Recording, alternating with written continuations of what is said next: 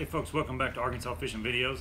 Uh, today uh, we've got our final panel painted. Uh, all we lack on it is getting carpet on it, so I'm going to be pulling out the decking um, to start wiring our electronics. And I thought uh, while I was doing that, I would go ahead and uh, I don't think I've done a video on how exactly we framed it and attached the frame to the wood and the uh, the boat itself. And so I was going to do a quick video on what we used um, the braces, uh, the wood that we use to attach it to the boat itself.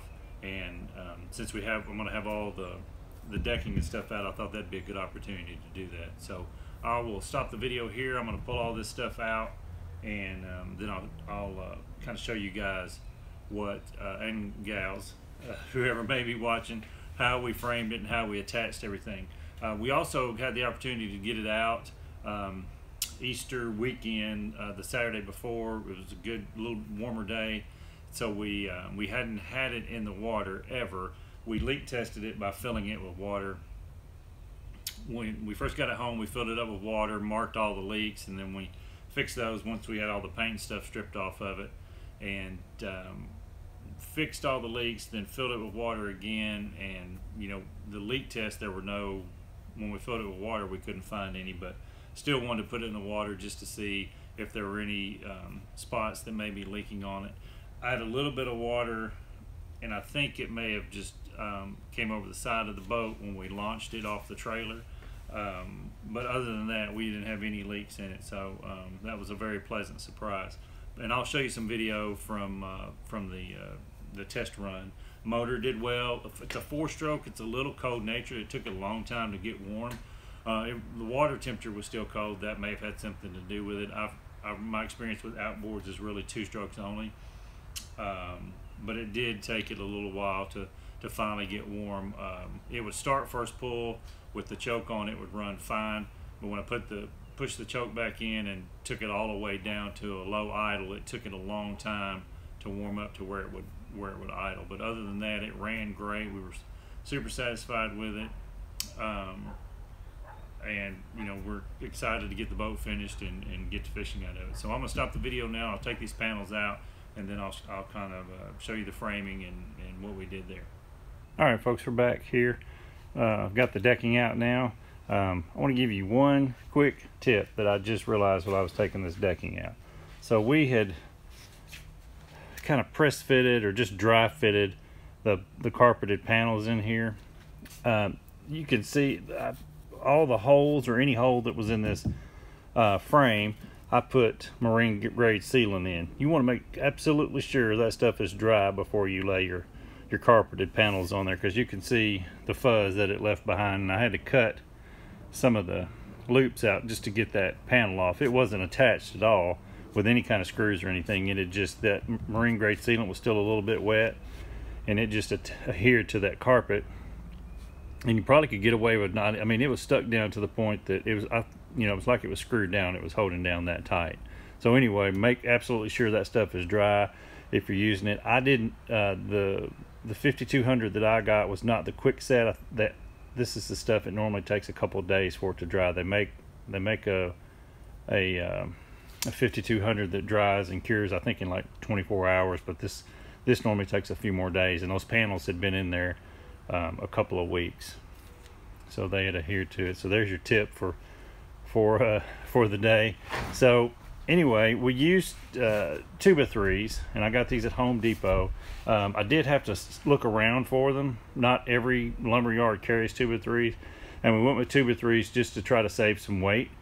Um, you know, I don't know the weight difference in a two by four and a two by three, but um, you know the the number that we're using in here we did want to try to save a little bit of weight. So um, everything, it's you know every tube of three or every piece of wood in the boat has been painted with two coats of the Behr enamel, and I think I, am pretty sure I showed that in another vi uh, video.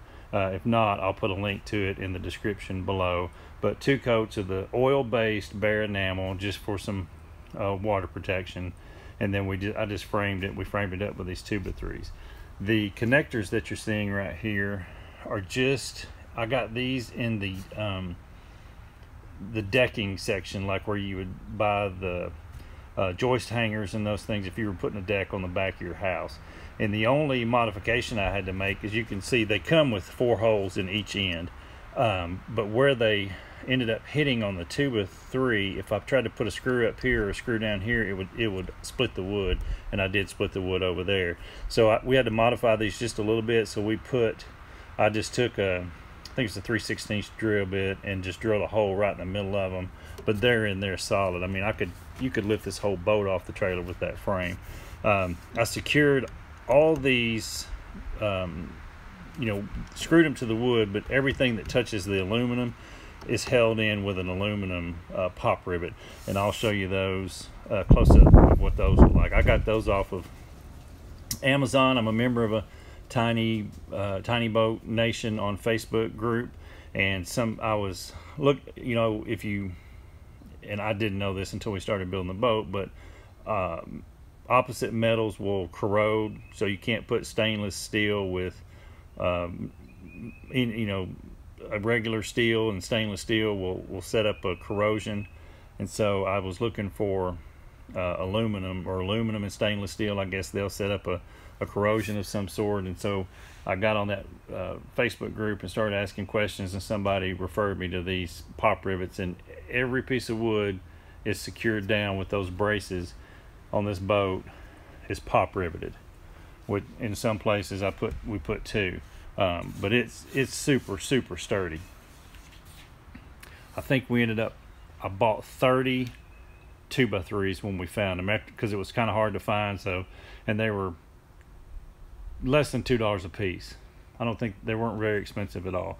Uh, untreated two by threes, and then we uh, cut it, framed it, kind of dry fitted it. Then we took everything off and I, I painted it, or my son painted it with uh, two coats of that oil-based Behr enamel paint. This will be our tackle storage back here. I got two plastic bins from Walmart and they sit right inside each one of these holes and they'll hold, I think each one of them will hold. Okay, sorry about that. I got a, a phone call in the middle of shooting video here. So uh, what I was saying is those uh, Walmart plastic bins that I picked up, they'll hold eight or ten of those clear plastic uh, Plano boxes for that you can put worms or you know it comes with like 20 dividers. You can divide it up however you want, and that's what we're going to use in those storage bins back there. And then we've used the same two by threes in the back here to frame it. We were going to go all the way to the back of the boat, and then we decided against that at the last minute.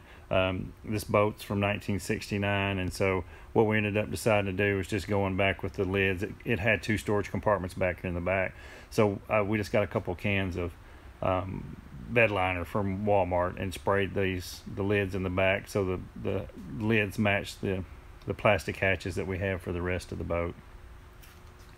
So I've got to get carpet on this last piece back here and then cut out the side panels um, for uh, here where the bait boxes are going to be and then back here in this area is going to be uh, a switch panel and the uh, US or radio that has USB uh, and uh, Wi-Fi so we can stream or play music if we want to while we're driving around the lake. My, that was one of the things my son wanted to put in. Um, you know, I guess it's good to have for weather as well. So we're going to put a put a radio in here. I'm going to do a video on all the electronics and things we're putting in next. So if you want to see that, be sure and hit the subscribe button down below and the little notification bell.